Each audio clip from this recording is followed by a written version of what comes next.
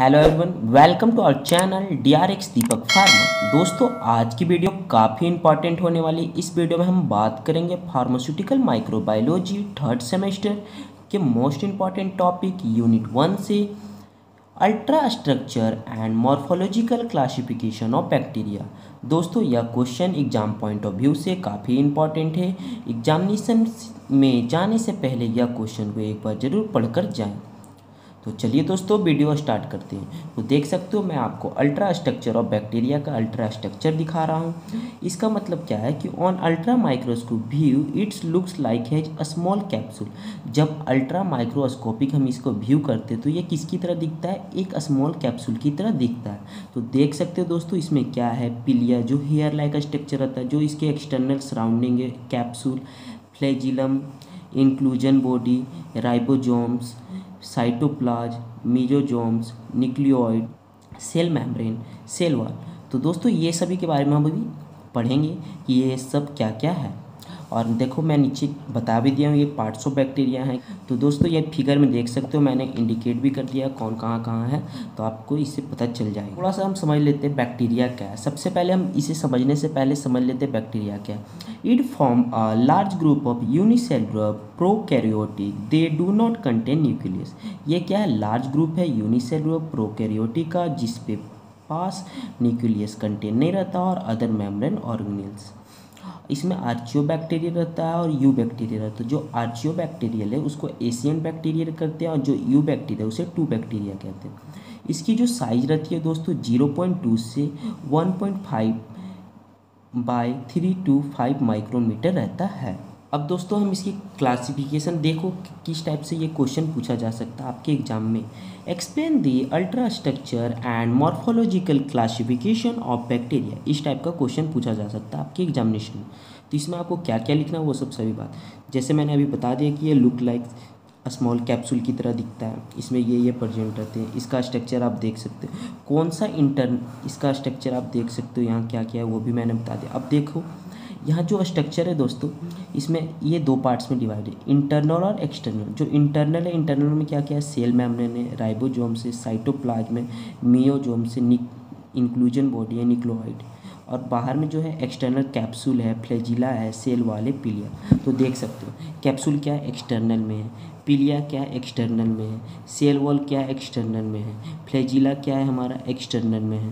तो ये सब आपको देखना और बाकी जितने हैं सब हमारे क्या है इंटरनल है। तो ये सभी जो है, पीलिया, सेल वॉल कैप्सूल फ्लेजिलम ये सब क्या आउटर मैब्रेन है बैक्टीरिया की। सबसे पहले दोस्तों हम देख लेते हैं एक्सटर्नल में जो जो है कैप्सूल कैप्सूल क्या है? It is outer most thick and slippery structure and it is rigid and flexible ये क्या आउटर मोस्ट है और थिक है? इसकी स्लिपरी स्ट्रक्चर ये रिजिड रहता है फ्लेक्सिबल रहता है। इसका जो कंपोजिशन है 98 परसेंट वाटर रहता है और 2 परसेंट ग्लाइकोप्रोटीन प्रजेंट रहती है। It is most glycoprotein substance which surrounded the cell ये क्या है? मोस्ट ग्लाइको प्रोटीन सब्सटांस है जो सराउंडेड रहते हैं सेल्स के. ये क्या गिव करता है? प्रोटेक्शन देता है बैक्टीरिया को अल्सो देता है. Shape and size of bacteria और प्रिवेंट करता है फैगोसाइटोसिस से. यहाँ बेसिस थिकनेस इसकी देख सकते हैं मैक्रो कैप्सूल और माइक्रो कैप्सूल की जो बैक इसकी जो बेसिक थिकनेस है मैक्रो की 0.2 माइक्रो से ज़्यादा हो सकता है, लेकिन जो माइक्रो की है 0.2 माइक्रो से माइक्रोमीटर से वो कम होना चाहिए। और इसकी जो फ़ंक्शन है, ये क्या करता है? ये प्रोवाइड कराता है प्रोटेक्शन फ्रॉम एक्सटर्नल इन्वायरमेंट अब सेल वॉल देख लेते हैं दोस्तों। सेल वॉल क्या है? एक तरह की अल्सो थिक स्ट्रक्चर होता है। इसमें जो मेडअप होता है पैप्टियो ग्लाइकोन लेयर्स के बने हुए रहते हैं। ये क्या करता है? प्रोवाइड करता है। Protection shape and identification to the bacteria bacteria के जो सेल है, उसको आइडेंटिफिकेशन करने में मदद करता है। On the basis of cell wall bacteria is identify as gram positive और gram negative on the basis of cell wall हम बैक्टीरिया को कैसे आइडेंटिफाई कर सकते हैं? Gram positive and gram negative जो ग्राम पॉजिटिव होता है twenty to eighty nanometer thickness होती है पैप्टियोग्लाइकोन के, और जो ग्राम नेगेटिव होता है, उसमें seven to eight nanometer thickness होते हैं पैप्टियोग्लाइकोन के। अब फ्लेजिला के बारे में देख लेते हैं दोस्तों, फ्लेजिला क्या है? It is long thick hair like structure जो मेडअप रहता है। फ्लेजिलम प्रोटीन से ये क्या करता है दोस्तों? ये वर्क करता है एज ए एंटीना जो सिग्नल प्रोवाइड करता है बैक्टीरिया को फॉर फ़ूड डेंजर और लोकोमोशन मतलब मूवमेंट में। और यह इट हेल्प्स इन लोकोमोशन मतलब ये मूवमेंट में हेल्प करता है बैक्टीरिया को। अब निक्लियोइड निक्लियोइड क्या है? It less nucleus develop called nucleoid it is internal structure of bacteria ये क्या लेस न्यूक्लियस डेवलप होता है, उसको न्यूक्लियोइड बोलती है। ये इंटरनल स्ट्रक्चर है हमारे बैक्टीरिया का without nucleoplasm and nuclear membrane इसमें न्यूक्लियोप्लाज्म नहीं रहते, ना न्यूक्लियर मेम्ब्रेन रहता। पीलिया क्या है दोस्तों? It is a small thin eight to ten hair like structure इसमें क्या होता है? आठ से दस हेयर लाइक स्ट्रक्चर जो हेल्प करते हैं attachment to bacteria with other bacteria attachment करते बैक्टीरिया के एक बैक्टीरिया से दूसरे बैक्टीरिया और ये हेल्प करते also in transfer in genetic material genetic material को भी ट्रांसफ़र करने में हेल्प करते हैं। अब इंटरनल स्ट्रक्चर देख लेते हैं दोस्तों। इंटरनल स्ट्रक्चर में क्या क्या है? तो इंटरनल स्ट्रक्चर में देख सकते हो जो सेल मेम्ब्रेन सेल मेम्ब्रेन सबसे पहले, ये मेडअप ऑफ़ रहता है। फॉस्फोलिपिड्स बाय लेयर का ये एक्ट करता है सेमी परमेबल मेम्ब्रेन की तरह। अब हम बात करते हैं साइटोप्लाज्म साइटोप्लाज्म क्या एक तरह का भिस्कस सब्सटेंस होता है जो मेडअप ऑफ़ रहता है। साइटोसोल का, इसमें जेल लाइक सब्सटेंस प्रेजेंट रहते हैं, ये प्रेजेंट रहता है इनसाइड द सेल और ये क्या करता है? Most of metabolic pathway occur in cytoplasm जितना भी मेटाबॉलिक पाथवे होता है, अधिकतर वो साइटोप्लाज्म में ही होता है। अब इसमें हम क्या बात करते हैं?